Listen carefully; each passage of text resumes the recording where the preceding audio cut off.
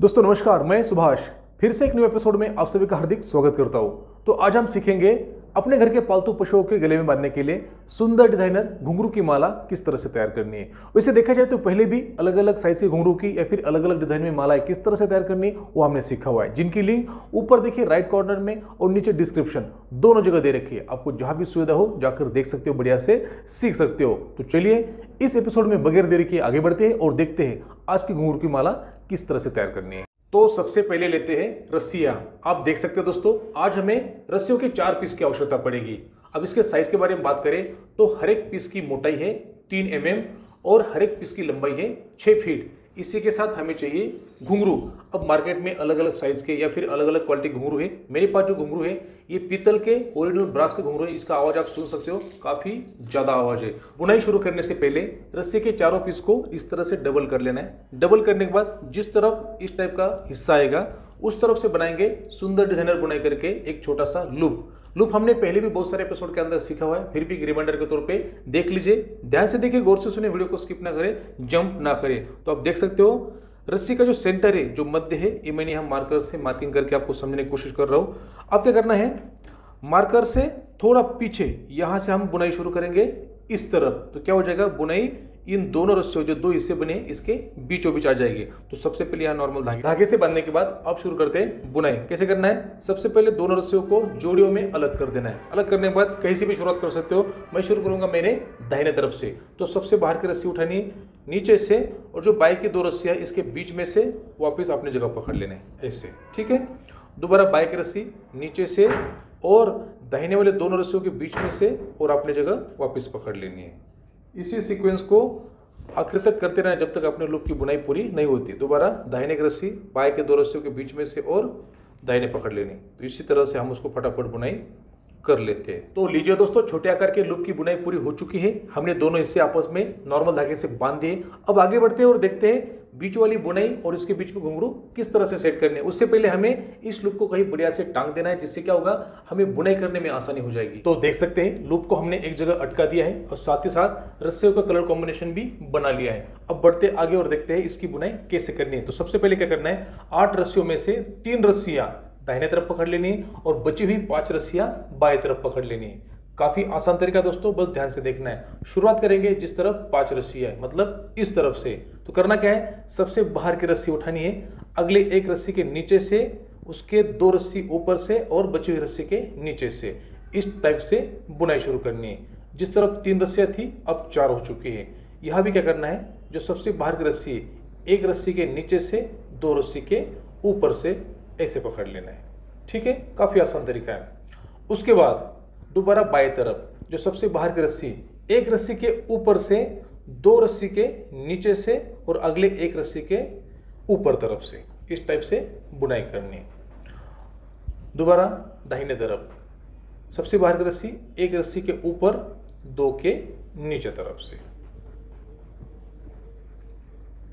ये हो गया। अब दोबारा आते बाएँ तरफ़ से। एक रस्सी के नीचे से, दो के ऊपर से और एक के नीचे तरफ़ से। ऐसी बुनाई करनी है। साथ साथ रस्सी को टाइट करते हुए चलना है। दोबारा एक के नीचे, दो के ऊपर। ठीक है दोस्तों, एक दो स्टेप आगे बढ़ेंगे, उसके बाद हम देखेंगे इसके अंदर घुंघरू कैसे सेट करना है। दोबारा एक बार देख लीजिए। अब इस इस तरफ़ की बारी है। जो सबसे बाहर की रस्सी है, एक के ऊपर अगले दो के नीचे और एक के ऊपर से। साथ साथ रस्सी को टाइट करते चलना है, ऐसे। तो आपको बीच में दिखाई देगा, यहाँ जो बुनाई होते हुए जा रही है। दोबारा इस तरफ़ ऐसे, एक रस्सी के ऊपर से, दो के नीचे तरफ़ से। ये। तो देख सकते हैं यहाँ, बीच में क्रॉस टाइप की बुनाई होते हुए जा रही है। दोबारा एक बार देख लीजिए, बाएँ तरफ़ की। एक के नीचे से, अगले दो के ऊपर से और एक के नीचे से। उसी तरह से लाल रस्सी एक के नीचे, दो के ऊपर। अब घुंघरू किस तरफ़ सेट करना है या फिर घुंघरू किस रस्सी में सेट करना है, ध्यान से देखिए। जो ग्रीन रस्सी ऊपर दिख रही है आपको, ये ग्रीन रस्सी, ये ग्रीन रस्सी, जितनी भी ग्रीन रस्सी ऊपर आती रहेगी, उनके अंदर घुंघरू सेट करते हुए चलना है। कोशिश ये करनी है एक के अंदर घुंघरू सेट कर दिया, उसके बाद एक रस्सी को खाली छोड़ देना है, उसके बाद तीसरे रस्सी में सेट करना तो क्या होगा, घुंघरू आपस में टकराएँगे नहीं। तो हम अभी क्या करेंगे, ये जो रस्सी है, जो ऊपर से आ रही है, इसके अंदर घुंघरू डाल देते हैं। डालने के बाद आगे आपको समझ में आ जाएगा तो। देखिए, इसका आगे वाला हिस्सा पकड़ लिया, एक घुंघरू लिया, घुंघरू इसके अंदर डाल दिया, घुंघरू यहाँ आ गया। बुनाई का तरीका सेम रहेगा। दोबारा, लाल को एक के ऊपर से, दो रस्सियों के नीचे से और अगले एक के ऊपर से। देखिए, इसको भी ऐसे, एक के ऊपर, दो के नीचे। घुंघरू इसके बीच में सेट हो चुका है। बढ़िया से सेट करना है, जल्दीबाजी नहीं करनी है। फिर से इस रस्सी को एक के नीचे, दो के ऊपर, एक के नीचे। आपके समझ में आ गया होगा, चार बार करने के बाद एक सर्कल पूरा हो जाता है। तो आप देख सकते हो, अब ये रस्सी ऊपर तरफ़ आ गई, इसके अंदर अटकाया एक को खाली छोड़ देना है, अब इसके अंदर और एक घुंघरू सेट कर लेना है। ध्यान से देखना दोस्तों, बिल्कुल किसी प्रकार की कन्फ्यूज़न नहीं होनी चाहिए। इसको यहाँ बढ़िया से पकड़ लिया। इसके अंदर एक घुंघरू सेट कर देते हैं। घुंघरू डाल, ये आ गया। पकड़ने का तरीका बिल्कुल बराबर रखना है, आगे पीछे नहीं करना दोस्तों, ये। ठीक है? तो आप देख सकते हो, इन दो घुंघरू के बीच में इतना गैप होना चाहिए, नहीं तो क्या होगा, ये आपस में टकरा कर इनका आवाज़ नहीं आएगा। फिर से वही, आप स्टेप इसको एक के ऊपर दो के नीचे और एक के ऊपर तरफ़ से। तो आप देख रहे होगे, एक तरफ़ लाल लाइन चल रही है, दूसरी तरफ़ हरी लाइन चल रही है। इसको अगर पलटी करके देखा जाए तो सेम दोनों तरफ़ की बुनाई सेम चल रही है, आप देख सकते हो। सेम बुनाई है इस तरफ़ भी और इस तरफ़ भी साइड की भी देख सकते हो आप दोनों तरफ़। तो इसी तरह से आपने आखिर तक बुनाई करते रहनी जब तक आपको ये बेल्ट पूरा नहीं हो जाता। तो लीजिए दोस्तों, काफ़ी मेहनत और समय के बाद माला की बुनाई पूरी हो चुकी है। एक बार मैं चारों तरफ़ से दिखाना चाहूँगा, समझाना चाहूँगा। देखिए, लूप वाला हिस्सा, यहाँ मैंने नॉर्मल रस्से से बांधकर बढ़िया से पैक कर दिया है। ऊपर कैसा देख लीजिए टोटल हमने इसके ऊपर तेरह थर्टी घुंगू सेट करके देखे। एक चीज़ बताना चाहूँगा ये जो साइज़ की माला है, ये छोटे जानवर, जैसे बकरी है, भेड़ है, अपने घर का श्वान होता है, कुत्ता होता है, उनके गले में बांधने के लिए, अगर आपको ये माला बड़े जानवर के लिए बनाना है तो रस्सी की साइज़ जो हमने छह फीट लंबी ली थी, उसको दुगना करना पड़ेगा, बारह फीट लेना पड़ेगा। और अभी जो माला बनी है, ये लगभग डेढ़ फीट लंबाई तक बनी है। आपको अगर इसमें दो फीट या फिर ढाई फीट की बनानी तो उसी हिसाब से आप लंबाई ज़्यादा बना लीजिए। ठीक है?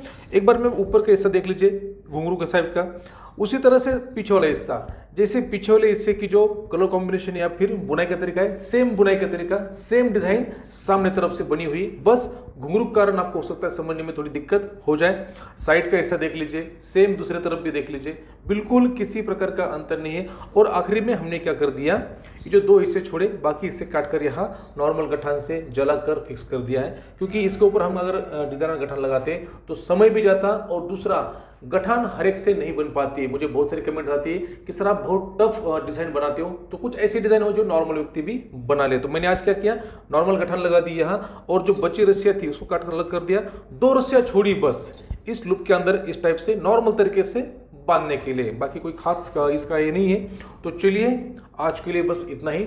सबसे पहले इस एपिसोड को आखिर तक देखने के लिए सभी को बहुत बहुत धन्यवाद। दोस्तों, आज हमने सीखा सुंदर डिज़ाइनर बुनाई करके घुंगरू की माला किस तरह से तैयार करनी है। आपको ये माला बुनाई करने का तरीका वीडियो कैसे लगा, कमेंट्स में ज़रूर लिखिए। वीडियो पसंद आता है तो प्लीज़ लाइक कीजिए, शेयर कीजिए और आगे भी इसी तरह के और भी इंटरेस्टिंग वीडियो देखने के लिए, सीखने के लिए चैनल को सब्सक्राइब कीजिए। बेल को दबाकर ऑल पे ज़रूर क्लिक कीजिए, जिससे क्या होगा, आने वाले एपिसोड का नोटिफिकेशन आपको समय पे मिलता रहेगा। हम जल्दी मिलेंगे नेक्स्ट एपिसोड में। इसी तरह की और एक धासु रोप टेक्निक के साथ। तब तक के लिए खुश रहिए, मस्त रहिए और मेरे साथ बोलिए, जय जवान, जय किसान।